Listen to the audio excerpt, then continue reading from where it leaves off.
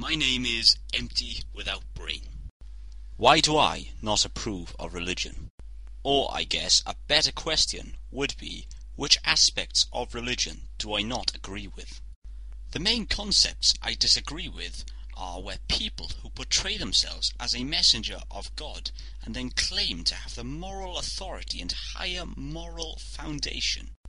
For example, when people who present their religious messiah as the ultimate salvation for a place in heaven in the afterlife.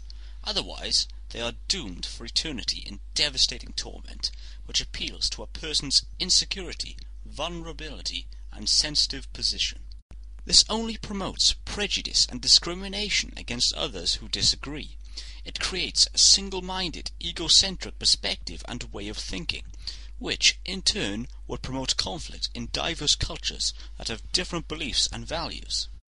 A good example to illustrate my point would be the people on YouTube like Nephilim Free who did once claim himself as a prophet of God, Shock of God who portrays himself as a winner in every debate to promote the turn or burn concept, E Questions who misrepresents people and promotes false information without any relevant evidence, and of course the infamous Venom Fang X, who perceives everyone who rejects his belief in his Christian God to be immoral and worthless.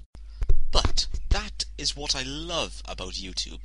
It acts as a global sphere where everyone is going to present their views regarding certain topics of concerns and issues like morality, origins of life, and a whole lot more, where these kinds of people are challenged and then retreat to the victim card and claim oppression for their false and absolute ridiculous claim. The people I have seen on YouTube who present the best videos regarding atheistic and secular perceptions are The Living Dinosaur, One Species, Thunderfoot, Coughlan616, DPR Jones, Zulu Fight Runner, The Kitch 2, Dark Matter 2525, RyuOni 1989, AronRa, Happy Cabbie, Concordance, Martymer 1989, Fact vs. Religion, Ainulindale 21, D-Land